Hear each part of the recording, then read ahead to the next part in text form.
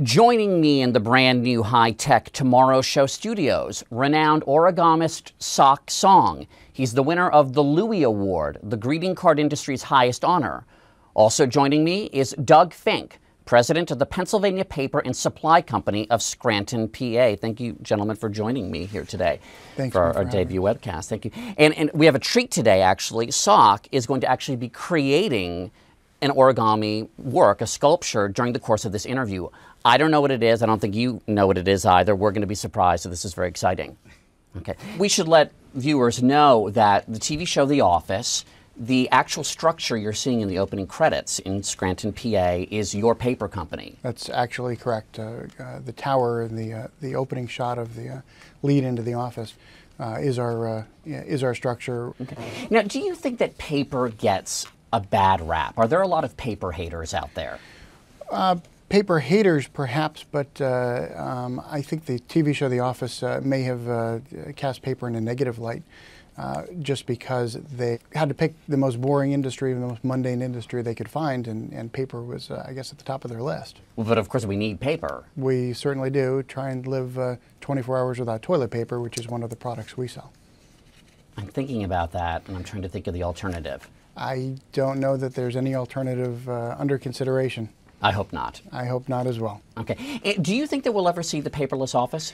Uh, I don't think we'll ever be completely paperless, uh, at least not uh, in the next few generations. There will always be some use. Interestingly enough, uh, Pennsylvania Paper and Supply, which is our company, is mostly paperless. Oh, interesting. So you guys create paper, but your office is actually. We don't really retain any paper in our uh, in our accounting system at all. Is that sort of hypocritical, though? A little bit. Okay, but you're honest about your hypocrisy. Yeah, that's okay. Okay, now, Sok, I I don't want to interrupt what you're doing. And by the way, we're surrounded by this absolutely beautiful menagerie of, of origami art here. We have uh, the, the classic crane, is that correct over here? Yeah.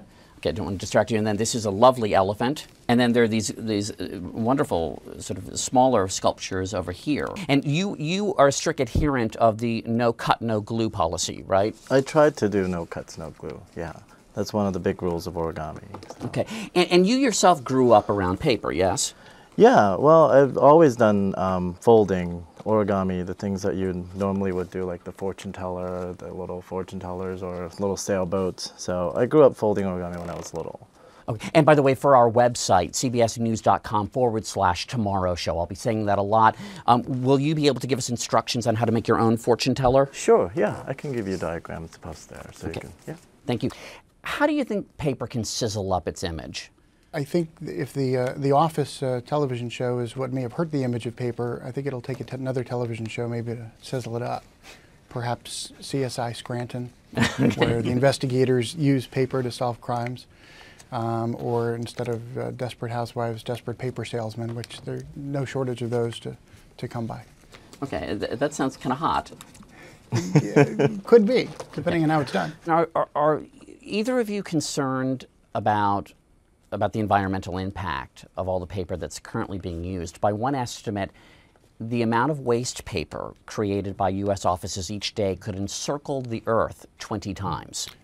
I would say that that would definitely be cause for concern, and certainly Xerox is onto something. So, will the future of paper at least be greener then, do you think? I think the future of everything is going to be greener. But uh, as uh, Michael Scott in the office uh, said, uh, computers are, uh, are great for playing games and sending funny emails, but real business is done on paper. Well, you know, and I got to say also, I had a death in the family a few years ago. Sorry not to bring this down, but I got a bunch of condolence notes by email, and I hope none of the people that sent me them are watching, but it was tacky as hell. Yeah, I've uh, received that as well, and if Miss Manners is, uh, is watching this, maybe she'll write a column on that. Are we ready now, Sok, to debut? Wow. It is a origami space shuttle. I think it's, uh, it's uh, phenomenal. Scale it up a little bit and put some engines in it, and, I- and I'll jump on board. Well, if you can have a paper house like right. Jim Juzak has, this is absolutely the Tomorrow Show. We don't have a problem. This is beautiful. Very good. I love this.